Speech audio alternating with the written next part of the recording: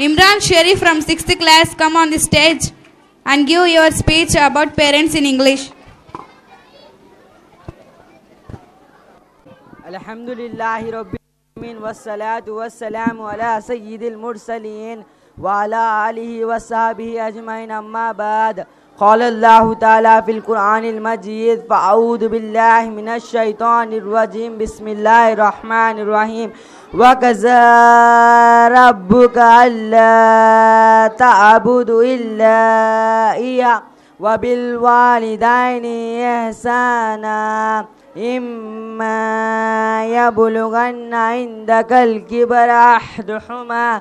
أو كلاهما فلا تقل لهما أف ولا تنهرهما وقل لهما قولا كريما واخفض لهما جناح الذل من الرحمة وقل رب ارحمهما كما ربياني صغيرا. صدق الله العظيم. My dear respected teacher, parents and my dear Islamic brothers and sisters, Assalamu alaikum wa rahmatullahi wa barakatuh. Walaikum assalam wa rahmatullahi wa barakatuh. Allah Ta'ala said in the Quran Majid, Suratul Bani Israel, ayat number 23 and 24.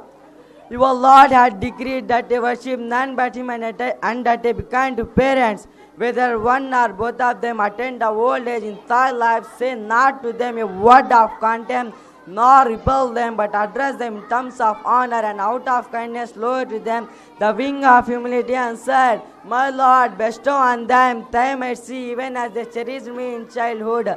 Recognition and respect of parents is mentioned 11 times in Quran. In every instant, Allah reminds the children to appreciate the care and love they received from their parents. In one aspect, Allah demands that children honor their parents by saying, We have enjoyed and man kindness to parents. Quran, ayat number 29, Surah 8, and ayat number 46, Surah 15. Once, when the Holy Prophet was talking to his companion, a man came and addressed him, O Prophet of Allah, a young man is dying. People are asking to recite Shahada, but he was unable to do so. The Holy Prophet asked, Did this man offer his prayer? And got the answer with the affirmative. He then went to the house of dying man. The Prophet of Allah advised him and offered him kalima. The man indicated that he was unable to do so as the word could not come out of his mouth. He then called the mother of dying man whom he was disobeyed persistently throughout his life. When the old, old mother approached the scene, the Holy Prophet asked, Respected lady, is your son? She replied with the affirmative. He then put to her a question, Oh, respected lady, if you threaten to throw your son in a ragging fire, will you recommend him to be forgiven?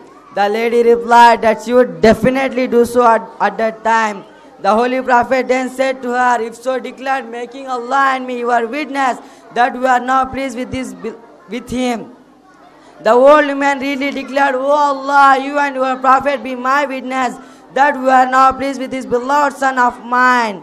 The Holy Prophet turned to the dying man and asked to recite, There is no God but Allah is one and has no partner, and I also bear witness that Muhammad is his devotee and his prophet.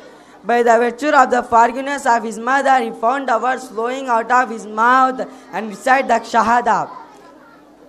Seeing this, the Holy Prophet praises Almighty Allah and thanked him by saying, Thanks to Almighty Allah that He saved this man from the fearful for through me, Tabrani Ahmad.